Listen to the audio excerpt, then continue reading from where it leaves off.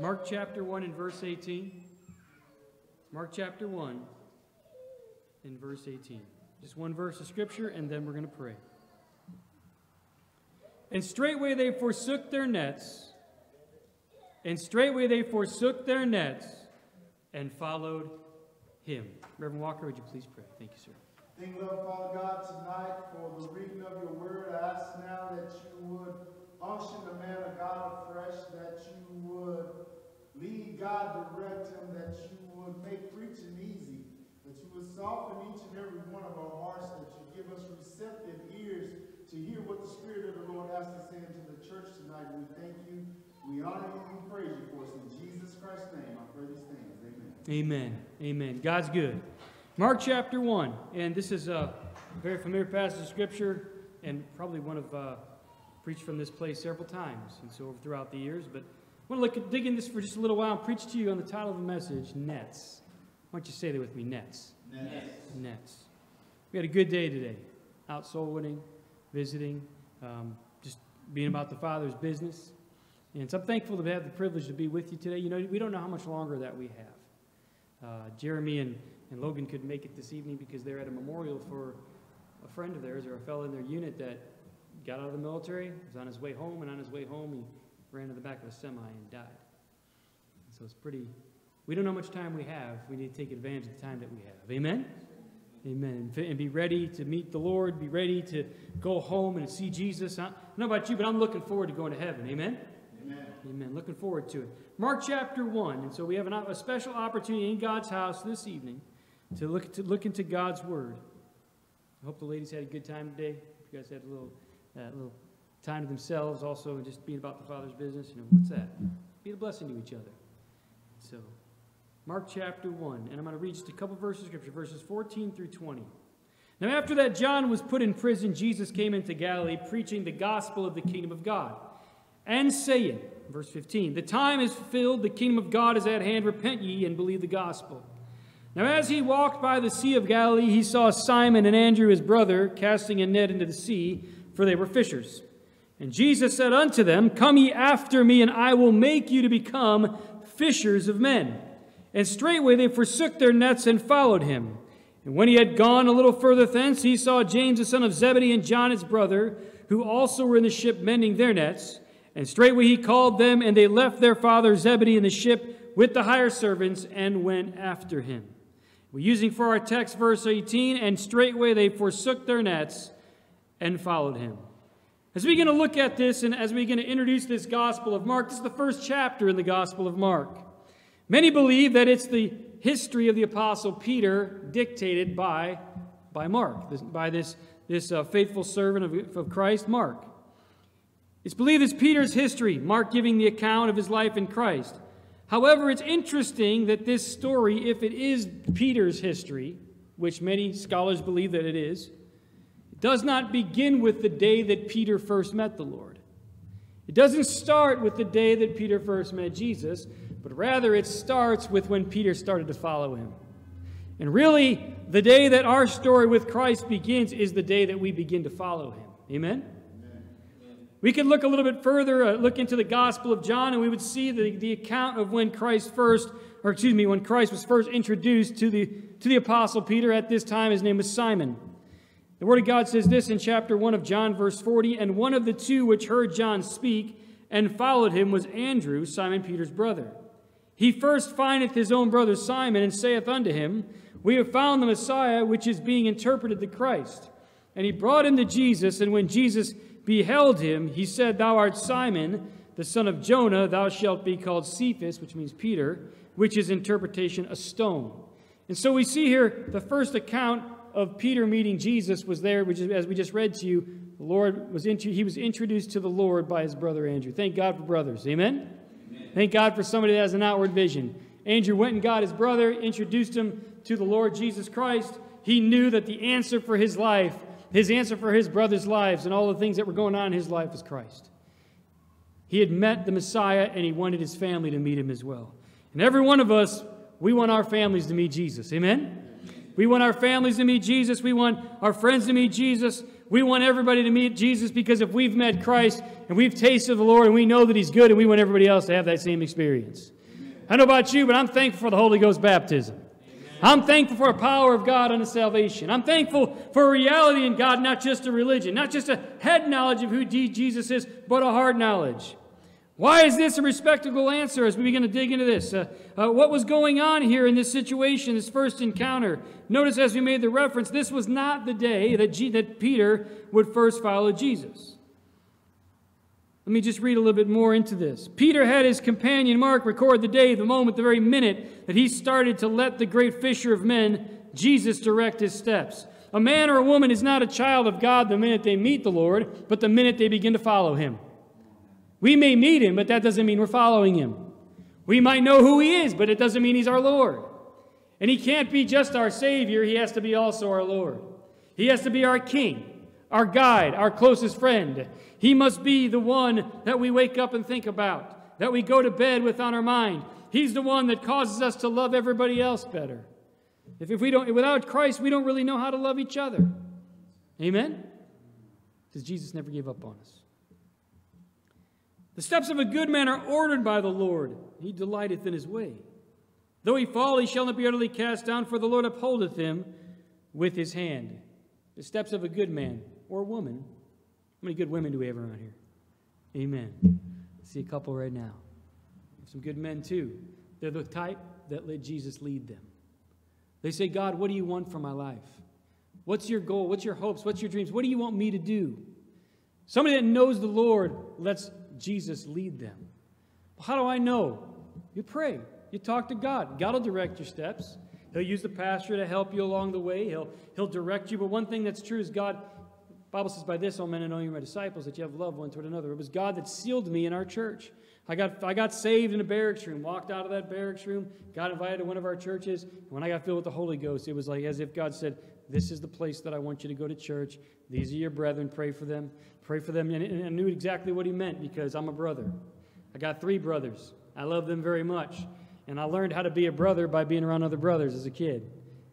You know, I, was, I forget who it was that was saying it. I was, it was uh, it was Logan the other day. You know, it's, it's something about brothers and sisters. Brothers can beat up each other, but nobody else can beat each other, beat them up.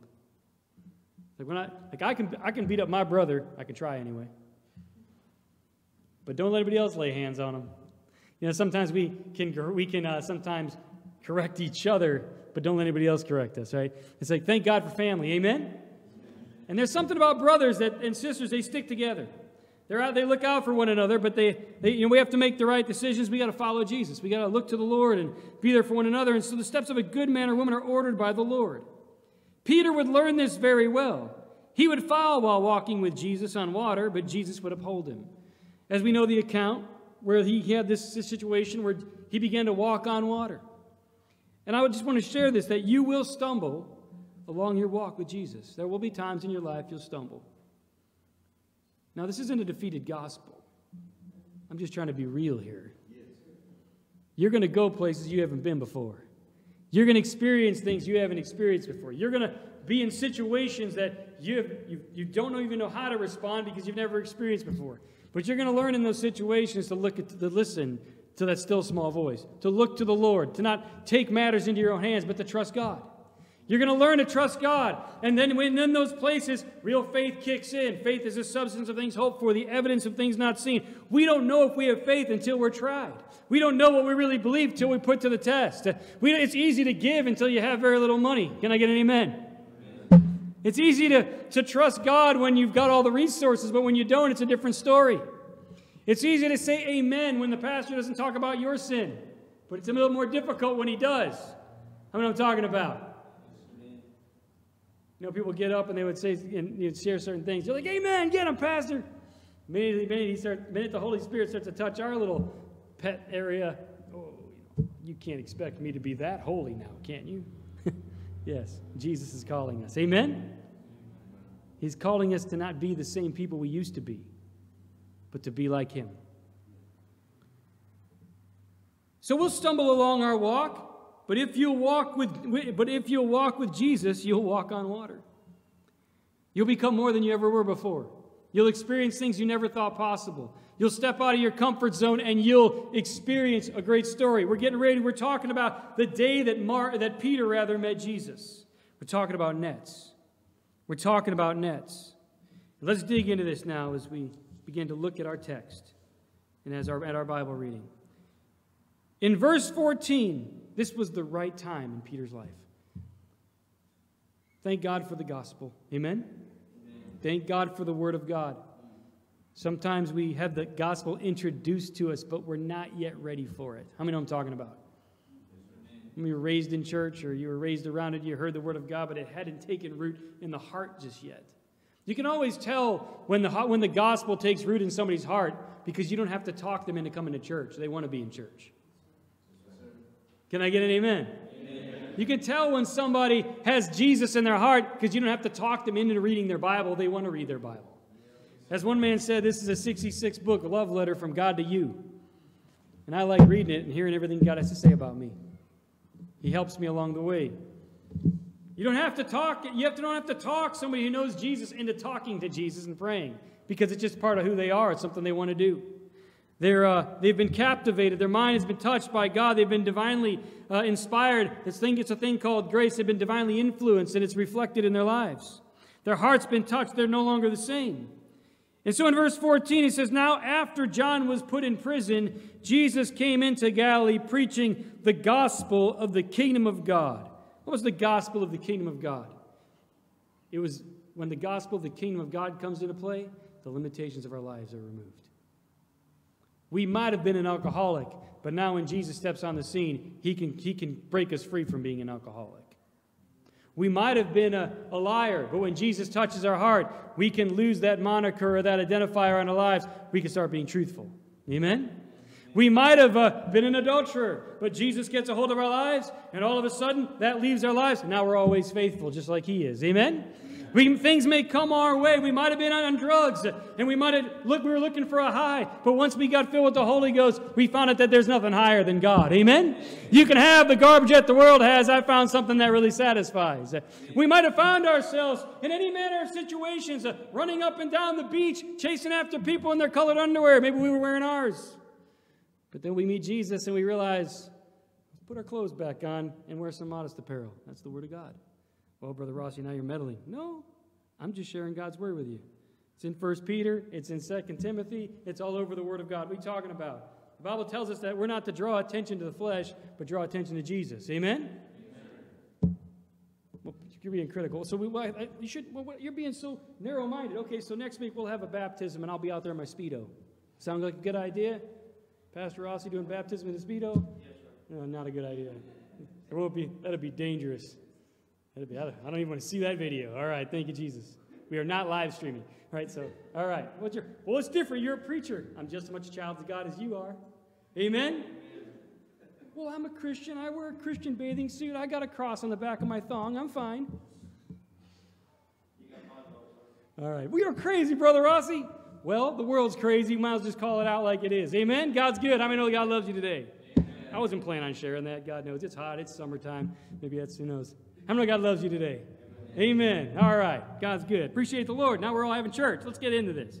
All right. So Jesus came in, preached about the kingdom of God. What is it? You know, if we really had a godly society, you'd be able to walk down the street and you'd be able to tell from 100 yards away that that's a woman and that's a guy, and you wouldn't be confused. Amen? But you'd, you'd be able to tell it, and they would. But you also wouldn't have, have a problem lusting because people would be dressed appropriately. You wouldn't be able to read the Hain. I'm just, Brother Ross, why are you on? Okay. How many God loves you today? Amen. God wants us to accentuate the sexes. In other words, if you're a guy, dress like a guy. If you're a woman, dress like a woman. But at the same time, you do it in a modest way, in a, in a classy way, in an honorable way, in a way that brings honor to God. We're not trying to draw attention to ourselves, to draw attention to Jesus. Amen. How many know God loves you today? Amen. Amen. This is a home folk, so we can preach. We can preach the home folk. All right, just in case. God is good, and when is He good? All the time. All the time. Let's dig into it a little more now. So Jesus is moving on the scene in verse 14.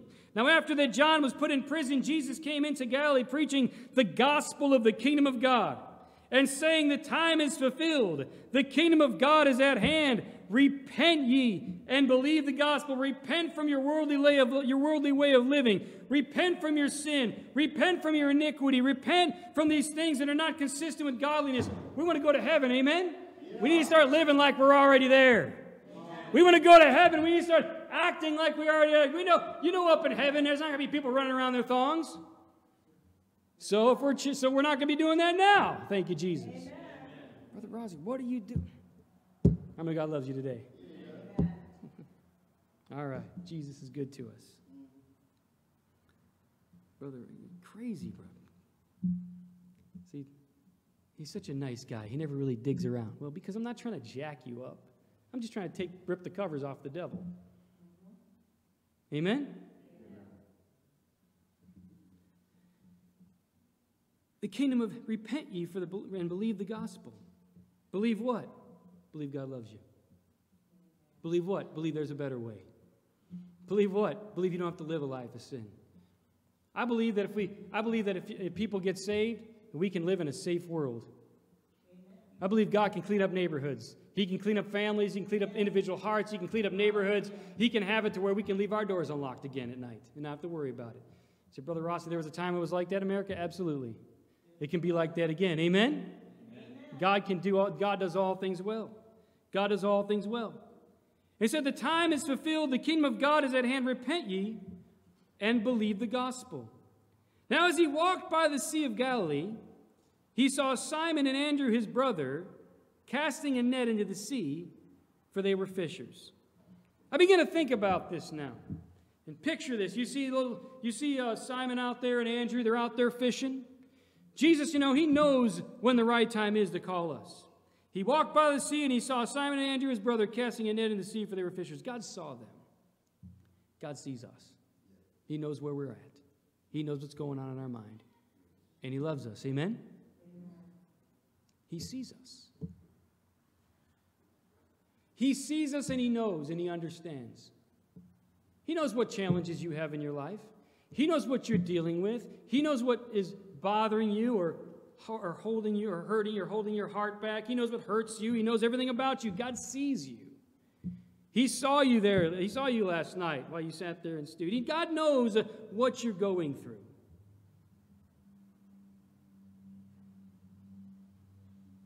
Want to get ahead of myself because God's here right now. God loves us. Amen?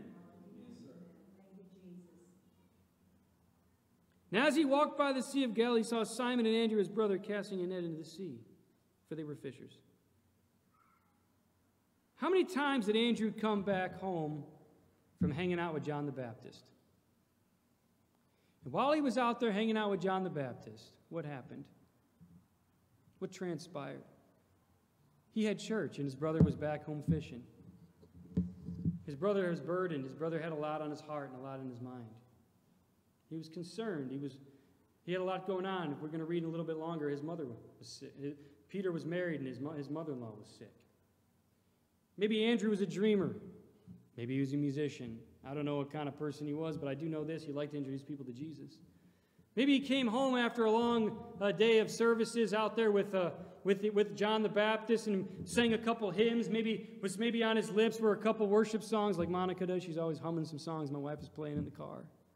Maybe he was humming away a song, thinking about God, talking about God's goodness, and just sitting there kind of lost in his thoughts as they're working on the fishing boat. But Peter maybe is a little more uh, wrapped up, a little more consternation, a little more frustrated. Man, we got to get these fish in. We got to get them in because mom's sick. I got to I got to get my I need, we need to, we need to get these fish in and get them into the market because I got to get some finances because I got to pay the doctor because mom's sick and Andrew's over there just kind of in his own little world. You know, forgive me if I use my imagination, but this is kind of how things are sometimes. And maybe he just kept looking at his brother and said, "Why don't you just come and hear John preach again? Why don't you just come and listen to Jesus? Uh, why don't you come and just let some of the, let things go? Let God get involved in your life and, and start trying stop trying to figure everything out. Uh, just let God do a work in your life. Maybe as he out there." and he's just he's looking at that net and he constantly would use they would use those nets to meet the needs in their lives. They would throw them out into the sea and they would catch their fish and they would use that time and time again to support themselves. But maybe while they threw those nets out there, they began to preach to them. They realized if they kept doing things the way they've always done them, they'd keep having the same results. And there needed to be a change. And although maybe they were getting by, They both knew in their heart of hearts, and Peter knew for one thing's for sure that this life wasn't the way it ought to be. If your family doesn't know if it wants to live for Jesus just yet, just keep serving God. Just keep being what God wants you to be. Right. Just keep singing. Just keep playing. Keep loving each loving people. Amen? Amen. If your fellow Marines don't know if they want to serve God, just keep keep on singing. Keep on trusting God. Keep on loving people because God loves them just like He loves us. Amen? Amen. How many know God loves everybody? God doesn't want anyone to perish. God wants everyone to go to heaven. Not everybody's going to go, but everybody can if they'll look to Jesus. The door is wide open. Nobody's too far off. If they're still breathing, God can still save them. Everybody you run into, everybody you run into is one miracle away from a transformed life. Can I get an amen? And so while they're looking at these fishing nets, Jesus shows up at the right time. You know, God knows when the right time is. He saw them. He knows your situation. Let me read to you just a couple verses out of Psalms 139. David said this Thou knowest my down sitting and my uprising. Thou understandest my thoughts afar off. Thou, thou compassest my path and my lying down, and art acquainted with all my ways. For there is not a word in my tongue, but lo, O Lord, thou knowest it altogether. Thou hast beset me behind and before, and laid thine hand upon me. Such knowledge is too wonderful for me. It is high, I cannot attain to it. Whither shall I go from thy spirit? Whither shall I flee from thy presence? If I ascend up into heaven, thou art there. If I make my bed in hell, behold, thou art there. If I take the wings of the morning and dwell in the uttermost parts of the sea, even there shall thy right hand lead me, thy right hand shall hold me. God knows where we're living at. God knows where we're living at. If I say, Surely darkness shall cover me, even the night shall light about me. Uh, we can try to hide from God, but God can't, we can't be hidden from Jesus. Doesn't matter how dark it may get, Jesus is there. Yea, darkness hideth not from thee, but the night shineth as the day, and the darkness as a light, and both are alike to thee. For thou hast possessed my reins, thou hast covered me in my mother's womb. I will praise thee, for I am fearfully and wonderfully made. Marvelous are thy works, and that my soul knoweth right well. God knows us. Amen? He knows who we are, and God knows how to push the button. God knows how to flip the switch. God knows how to break through and meet the need in our lives. I don't care how hard we might get, I don't care what life may transpire. God knows how to make the difference in our lives. Amen. God is the answer. Amen? Amen? While Peter was out there fishing, that tough fella, and so it's, so it's been said as he was hardened by the sea and, and was familiar with these, the ways of the water in the ocean, out there trying to take care of his family, Peter would learn something. Jesus walked by and said this. In verse 17, Jesus said unto them, Come ye after me, and I will make you to become fishers of men. Come ye after me, and I will make you to become fishers of men. I love this. Peter would change his focus and God would provide for his situation. Jesus knows when to call us, and he has a plan. He said, Come after me, I'll make you fishers of men. I'll give you better fish to fish after. Amen? I'll give you a better catch. And Peter would know what this is all about when he'd preach and thousands would get saved. And God would truly do and fulfill exactly what he said he would do. I'll make you to become fishers of men. He said, You're not yet, but you will be if you follow me. We're not yet. We have not yet. None of us have arrived. Amen? God still has a work to do in our lives. Amen. And I like what it says in verse 18. And straightway they forsook their nets and followed him. Maybe you're sitting there looking at that net, sick and tired of it. He said, You know what? What do I got to lose? All right, Andrew, you win this time. Throw that thing down. Let's go. And I bet if you asked Jesus or asked Peter, Do you regret stepping out of the fishing boat that day? What do you think he would say? No. Not a chance. Not a chance. My life didn't start till I stopped fishing. Till I stepped out of that boat. He began to follow Jesus. He threw that net away. He threw that net away and he followed him. And what would happen? We're going to jump ahead just a little bit and come back in a little bit, but listen to what the Word of God says. After he began to follow the Lord, it says in verse 30, But Simon's wife's mother, speaking of Peter here, his mother, lay sick of a fever, and anon they tell him of her. And he, Jesus, came and took her by the hand, lifted her up, and immediately the fever left her, and she ministered unto him. You know, God can take care of things in our lives. Amen? Amen. Peter gave his life to Christ. He said, I don't know what I'm doing. I don't know how this is all going to work out. All I know is the fishing business is how I take care of my family, but I'm going to do it. The master said, I'm going to follow Jesus. And guess what happened? The master took care of his problems. Amen? Amen. And as we follow the Lord, God will take care of our family. Amen? Yes, we love our family. Amen? Amen? We care about our family. We want them to be blessed as well. We want them to be blessed as well. And God will intercede as we do. Thank God Peter did what he was supposed to do. Thank God he followed Jesus, because if he had to follow Jesus, there's a good chance that meeting between Jesus and his mom wouldn't have taken place. And mom got divinely healed, and so much she got healed that after that, she started making some tortillas for him. That just inserting my Mexican version in there. All right. God's good. Amen. How many God loves you today? Amen. Appreciate the Lord. If it was an Italian family, probably pizza or something like that, or French bread. I don't know. God's good. All right. I appreciate the Lord today. God's good. Many know God's good? Amen. Amen. And so they both got blessed. Peter got blessed, Andrew got blessed, mom got blessed, everybody got blessed because they stepped out of the fishing business. Uh, they stepped out of the fishing boat into a greater fishing business. Moving on a little bit further down now in this, in this portion of Scripture, we're going to look and see what happens to another group of friends. You know, thank God when God reaches us and does a work in our life, He has people to walk alongside with us. And so He didn't just reach out to this family, but He reached out to some of their, their companions. And these people, these two were quite the, quite the bunch. The Bible tells us in verse 19, and when he had gone a little further thence, he saw James the son of Zebedee and John his brother, who also were in the ship mending their nets. They had a nickname called, they were called the Sons of Thunder. Sounds like a motorcycle group. so these two guys were also some tough fellows. Amen? But God was going to do work in their life and use them in a mighty way. And so they're, they're in their ship doing what? They're fishing and they're mending. They're fishing and they're mending. You know, Peter and Andrew weren't alone. I want to read a scripture to you here out of my outline. There hath no temptation taken you, but such as is common to men. But God is faithful. How many know God is faithful? There it is again, the Semper Fi. I love him. All right.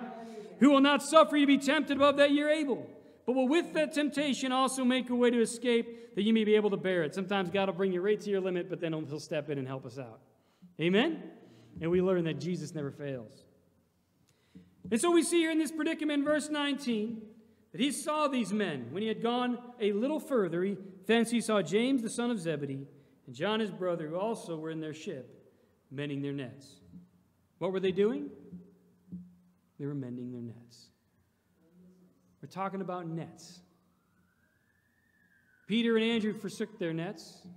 We see now these two men here are mending their nets.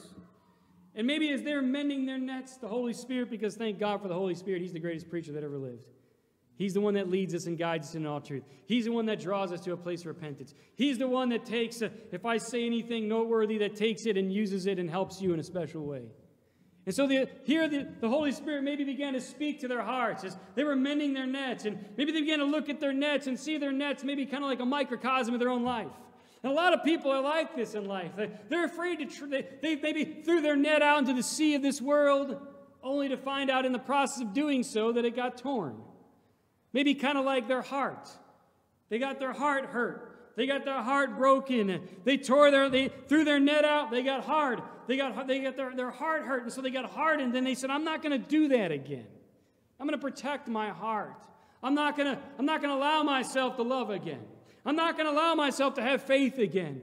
I'm not going to allow myself to trust again. And so they guard their heart and they build these walls of walls around them. Sometimes it comes in all different kinds of forms, uh, all kinds of in, uh, insecurities, and they build that, build up their heart. They try to hide it behind a wall of pride or something very in various different ways. And, and here these men were as they're maybe looking at that net. You know, and there's something about a torn net. Once it's torn, it can never be new again.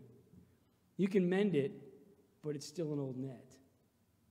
And once a heart's been hurt, you can't, it can't, it's, it's, once it's hurt, it's wounded, you can't go back and undo the wound. How many know I'm talking about?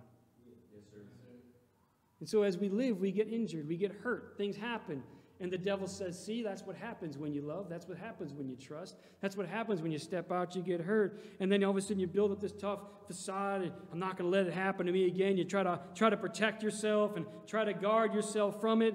But what do we find out here? As they're mending that net, as they're sitting there mending their net, they're with their dad, trying to just get another, just get another bunch of fish in for the day. As they're mending their nets, maybe a microcosm of their hearts, straightway he called them, Jesus again and they left their father in the ship with the higher seven servants and they went after him. They realized something. This net's never going to be new again. And if we keep doing things that we've always done, it's always going to be the same. And so it is. But I've got good news for you God can give you a new heart. God can mend your heart. In fact, He can not only mend it, He can miraculously, supernaturally change it, transform it, enlarge it, make it bigger than it ever was before, help you to learn to love more than you loved before, help you to be able to trust more than you ever trusted before, and you'll enjoy life more than you enjoyed it before because now you have perspective. Good friends mean a lot more. Amen? Life means more. Family means more. Friends mean more. Everything about life has a new meaning because God has impacted your heart. And what is the hallmark when Jesus touches our heart? We begin to look at the world and we begin to love our neighbor as ourselves. We care about each other people. And that kind of goes back to what we shared in the beginning of the service. It's not all about us. It's not about us getting the attention and us being the cat's meow. You know, if we, when us brothers, when we walk into church, if everybody's wearing gray, it's kind of cool, you know. It's like, hey, you got the memo. I'm not up there going, he wore my suit. Okay, all right. You know. Yes. I wish I had hair like he does. No, I'm just joking. I know God loves you today. Amen. Ain't got much. All right. Brother Ross, you're crazy. Just a little bit. Sometimes it takes a little crazy to do what God wants you to do. Amen. All right. But so what do they do here? They, they got rid of those nets. They left dad in the ship. And maybe dad's like, hang on, hang on. Don't do that. But I'll tell you what, these sons of thunder got to see God move in a miraculous way. They probably go back and say, Dad, let me tell you what God's done in my life. Uh, I'd love to hear Zebedee's story years later after his boys served God and they saw what a great difference. Such, to such a degree that these men, that God called, their names are written on the foundations of the New Jerusalem. They're going to rule and reign with God. They're going to sit on the 12 thrones. Thinking of Paravel, thinking about, uh, um, uh, uh, what's it? I'm trying to remember the name of it now. This uh, Chronicles of Narnia thing. But they're going to sit on the 12 thrones ruling uh, and judging angels. Talk about amazing. Amen? They went from the fishing boat to royalty. Yes, they went from fishing boat to king's kids. They stepped out of their comfort zone, and God did a work in their life. And so, what happens? We found out they gave up their nets and they got something better. They left, this is so powerful, fishing and mending, but you need a new net. You need a new heart. You need a new purpose. You need a new beginning. And that's what God wants to do in our lives today. Then, so they traded the familiar for, for a walk with Christ. They traded the known for something better, for something greater. And that's what God's calling us to do. Will you let go of the known for the unknown? I know I'm in a group of great people this evening. I know I'm in a group, I'm in a place of people that have faith because you all did it when you left and joined the Marine Corps. You had to leave the known for the unknown. You had to leave the known for the unknown. You're like, that's right. And that's why I have a hard time trusting because it wasn't what I thought it was going to be. Well, I got news for you. Serving Jesus isn't going to be what you thought it was going to be either. It's going to be better. Yes, it's going to be more glorious. Talk about real friends. I'm looking at a bunch of real friends. Amen? God's good. Such a, such so good. There's so much I could share here. But see, we left the fishing boat of life. We left the fishing boats of the world, and we're looking to Jesus. We're looking to Jesus, and why? God would use these 12 men and these ladies that would follow to reach the world, to make a difference. They would, the world would find follow them, say, You're turning the world upside down. But as Reverend Briggs said, no, they were turning it right side up. God was using them in a miraculous way. They let, he said here we see they left the known for the unknown. They left the familiar for faith. They followed the master and not their own ideas. They finally learned what the scripture meant. Lean not to your own understanding, but in all your ways acknowledge him, and he'll direct your paths. And he'll direct your paths. As we get ready to close, Jesus is looking out over this congregation today. And he's trying to encourage us and say, Come follow me, and I'll make you. I'll make you. Are we willing to let our lives go into the hands of an ever capable master and let him make us? Are we willing to let God do the molding? See, really, that's the question. Is he our Lord? Is he our Savior? So many people are afraid to let the fishing boat go.